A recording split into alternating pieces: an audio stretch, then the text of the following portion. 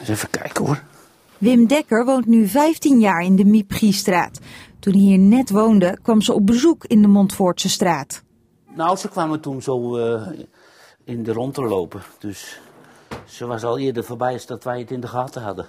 Toch heeft Gerrit Snieder van even verderop toen kans gezien om een kort praatje te maken met Miep Gies. Ja, ze wist wat ze wilde. En, Pit. hè, ja, ze wel pit erbij. ja, weet duidelijk wat ze, wat ze wilde.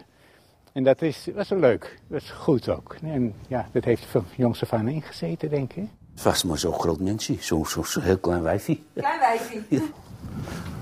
Zit hij goed? Ja hoor, dat is hem. Als een eigen vlag half stok hangt, gaat meneer Dekker nog even naar de buurvrouw op de hoek om haar met haar vlag te helpen. Zo, heb je een trapje? Een trapje? Waar is je trapje? De dood van Miep Gies is het gesprek van de dag in de enige straat in Nederland die haar naam draagt.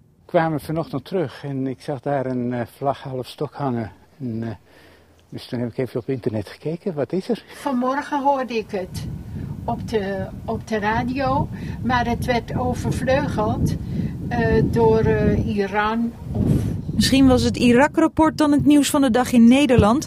In deze straat in Montvoort is het nieuws van de dag het overlijden van Miep Gies. Het staat natuurlijk op zich ver weg, maar aan de andere kant heb je ergens een band.